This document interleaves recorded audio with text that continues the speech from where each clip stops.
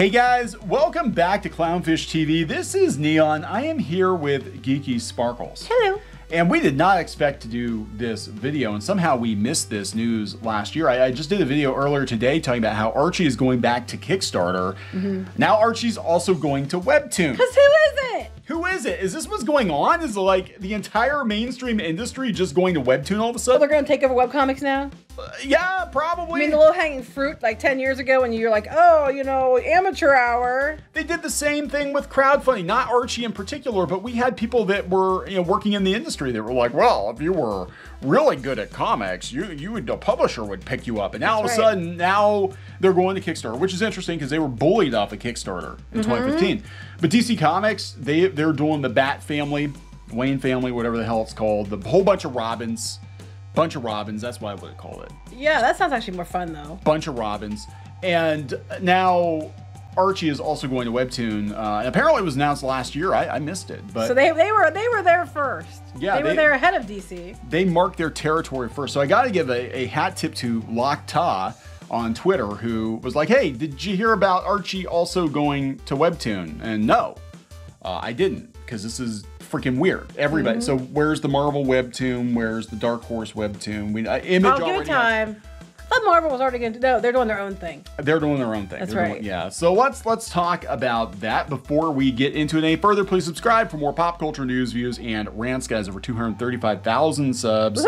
Uh, thank you so much for the support. Greatly appreciated. We have been talking more about things like Webtoon, Substack, crowdfunding, because the comic book industry is uh, changing, and you probably have the pandemic partly to blame for that because there was massive disruption. Now these publishers are like, oh shoot, we can't, you know. Yeah, let's go steal the other model that we made fun of for years. Let's go steal all the other models we made fun of for years. So yeah, this is coming from ICV2, and apparently it was uh, announced last year that New York Comic Con. Oh, it's because it was New York Comic Con. We just weren't. Oh, yeah, nobody was- yeah. No one watched those those things. yeah, it was it was uh, online and it was terrible. Um, I think but- we, the thing we talked about with New York Comic Con for the most part was making fun of how bad the numbers were. Mm-hmm. Yeah, so like five people knew about this. But yeah, Archie Comics announced the original material was coming to Webtoon last fall. The significant word in the announcement was original because given the relatively simplistic style and layouts, uh, it'd be easy for Archie to just cut and paste panels. But no, they're actually committing to creating But it took them this long. stuff. It- They announced it last year, and it took them like a year almost to, to get something on Webtoon. Maybe that's why. Maybe they're maybe they're having money problems. Maybe that's why they're going to Kickstarter with. I don't know I don't because I'm like someone like that, as someone who's done webcomics and things like that for Webtoon, it shouldn't have been that hard and shouldn't have taken that long. But okay, Yeah, so uh, here we go. Here's the uh, the official announcement today on ICV2 that Big Ethel Energy, what? Big Ethel Energy, Big Ethel Energy is debuting on September 21st, almost a year after they announced it. Archie will debut its first original comic on the Webtoon webcomics platform. The first three episodes. it's only of- three episodes. well, that's how they usually do it. They usually drop three at first. And no, but I like- mean, like it took this long, and they okay. It must be, maybe they haven't completed. I don't know.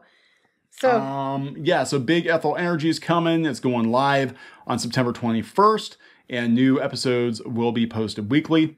Uh, the series will focus on Ethel Muggs, aka Big Ethel, in the early years of Archie was awkward, unattractive, and constantly trying to snare the heart of a decidedly uninterested Jughead. She needs to dress up like a hamburger. that's right. Well, now they've made. I think she's cute. I was like, that character's really cute. Well, I was she wasn't. how cute she was. she wasn't. That's why I'm like, I wasn't. I'm like, is that? So right? wait, so is this gonna be she got hot? Now she's gonna try to win him over?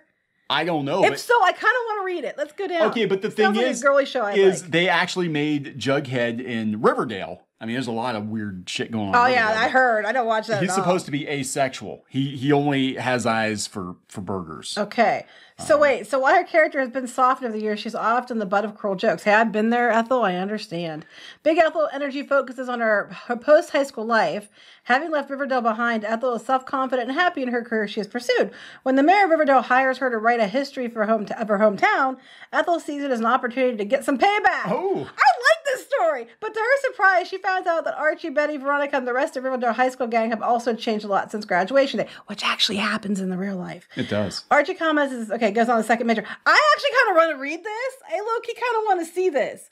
I like this story. This story appeals to me. They made fun of the She's come back for payback. I get that. I relate to that. This is like a this is like a rom com. I I know this one I'm interested in. I'm so excited I hit the table.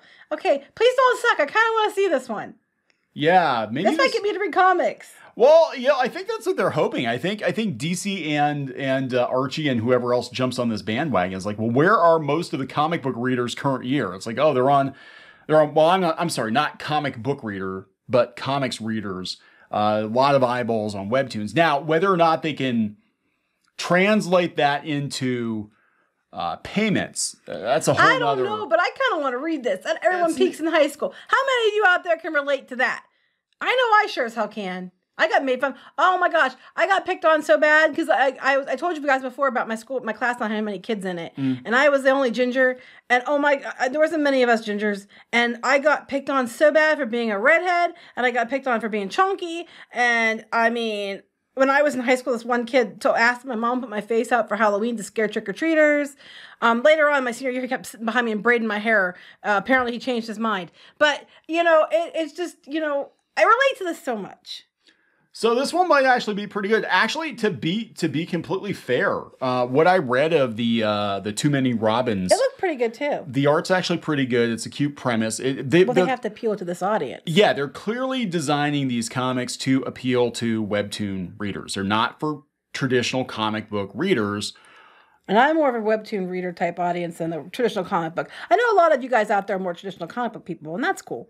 I'm just I'm just not. Kneon usually is. But Yeah, it, it's um. So it's interesting. It's it's interesting to watch. I feel like part of me is like this is, you know, maybe too little, too late. Um, you know, they're they're basically like, hey, we're gonna give you free comics. Hopefully, you'll buy some comics, but you probably won't. Are we taking bets? Is she now like like girls now or something? I don't. I don't like Jake anymore. He turned me off of, of men. I like women now. Idiots Hey, don't catch True cold. Beauty is actually pretty good, guys. By the way, I watched the K drama and I was reading. I haven't read it for a while, but I was reading that webtoon. Yeah, I know. Uh, my giant nerd boyfriend's been pretty popular for. A while. Really, I have to go read some of these. Yeah. Uh, so I don't have webtoons. time to read. Yeah, webtoons is definitely uh, is definitely blown up. I remember when they were begging people to come onto the platform, begging them like. Mm-hmm. we, used to be on there. Yeah, we did. We used to mirror the comic on there, but we, you know, we we, we talked about it before. We've got other Mm-hmm. videos out there, but Webtoon came in and basically killed off, you know, the webcomics business model, uh, and they centralized everything, and they became like the YouTube of of webcomics. And it's either you know it's either you're on Webtoon or you don't exist. You know, weirdly enough, but man, Snailology is still going.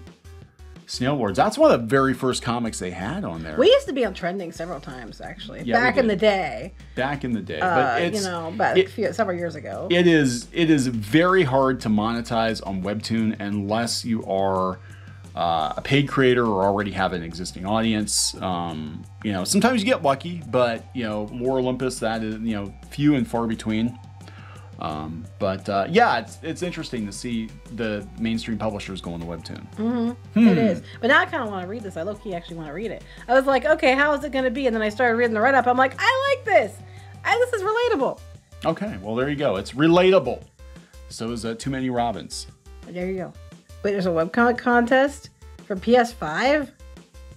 oh okay this is horizon that's interesting My, yeah, Squid King is a big fan of Horizon. As is my sister. It's also interesting they, they made her look like a girl. All right. She's a ginger. All right. Anyway, we're going to wrap this one up. Yes. Please subscribe for more pop culture news, views, and rants, guys. We'll talk later. Bye.